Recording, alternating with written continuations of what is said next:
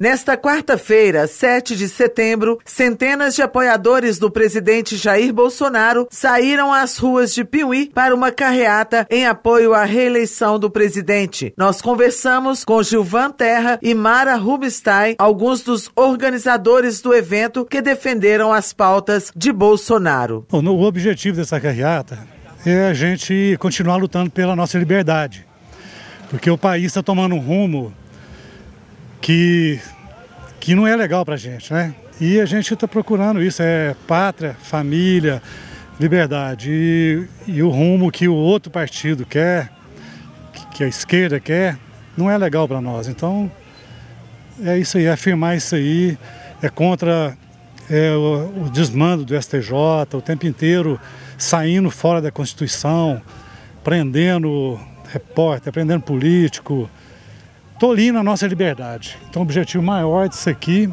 é mesmo é lutar pela nossa liberdade, liberdade de falar, liberdade de agir, liberdade de fazer o que a gente quer num país democrático, nós lutamos pela democracia.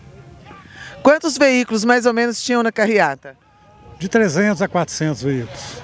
Entre carros e moto, motocicletas? Carros e motocicletas, mais ou menos por aí. O nosso intuito maior da, da nossa carreata é a união do povo não só para nós de Piuí, mas para todo mundo, para que vejam e saibam que isso corra para para todos os lugares, né? As pessoas assistam e saibam o que está acontecendo, que nós estamos ali firmes, juntos, ter liberdade da gente ter religião, da gente cuidar da nossa família, porque nós precisamos, nós precisamos de ter muito amor a nosso Deus, a nossa pátria, a nossa família. Nós não podemos esquecer isso em momento algum.